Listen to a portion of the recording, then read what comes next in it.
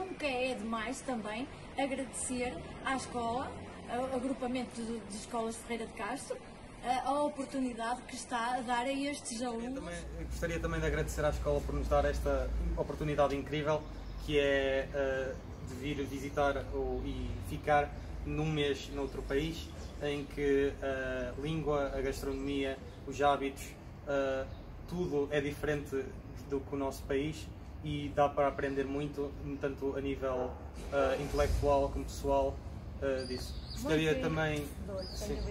Gostaria também de agradecer à professora Irene Batista, que me deu um apoio tremendo ah, e provavelmente sem ela não estaria aqui neste momento.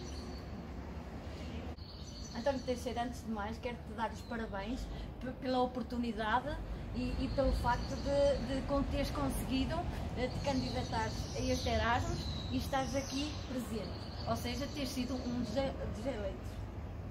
Tenho algumas questões, António, para te fazer. Uma delas é o que é que te levou a candidatar-te a este Erasmus? Ah, eu gosto, eu sou uma pessoa muito curiosa ah, e desde, desde há muito tempo ah, gostaria de ir visitar um país que era a Alemanha, que era o destino, o destino inicial do programa Erasmus, mas infelizmente por causa das medidas que estamos agora e por causa do Covid, Esta pandemia, não é? A nível Exato. mundial. não, não, não, não foi possível, mas na mesma gosto, gosto muito da viagem, gosto muito do, do projeto, gosto muito do ah, caminho que nós temos de fazer para ah, vir cá e ficar cá um mês durante, e tra- trabalhando ou- e aproveitar mesmo o- Claro. esta oportunidade incrível. Então partilha connosco um bocadinho esta chegada aqui a, Málaga, eh, a família de acolhimento, a parte de estágio. Uh, eu acho que fomos uh, recebidos e acolhidos pelas nossas famílias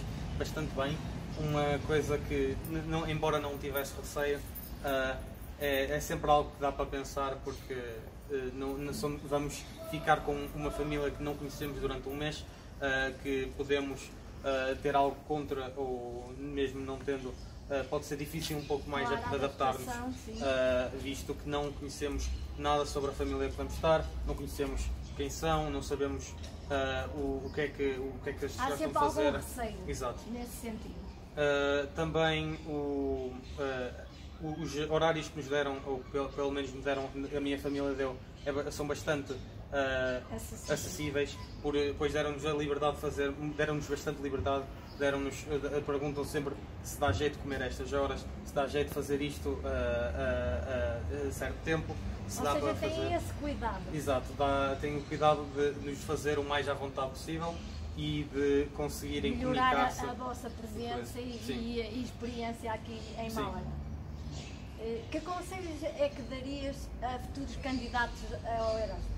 Ah, eu, futuros candi- candidatos ao Erasmus, gostaria de dizer que não há motivo nenhum para ter receio, ah, porque ah, se duvido que o caso seja diferente, que uma família seja antipática ou que não, não cumpra o- os, Os objetivos. os objetivos que, que, que têm de, de cumprir, visto que este- esse- isso não aconteceu neste Erasmus.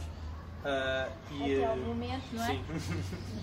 Mas eh, Também já estão habituados, de alguma forma, a, a- a estarem muito receptivos a este tipo de projetos, não é? sim.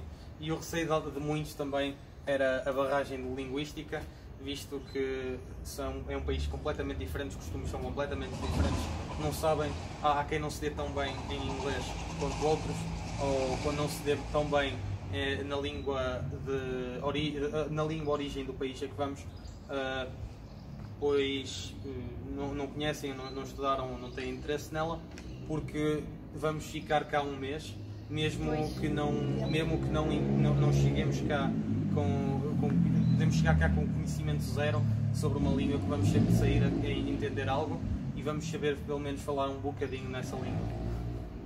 Muito obrigada, António Teixeira, pela tua partilha, que, que sem dúvida nenhuma vai servir de inspiração para, para outros eh, teus colegas e futuros candidatos ao Erasmus.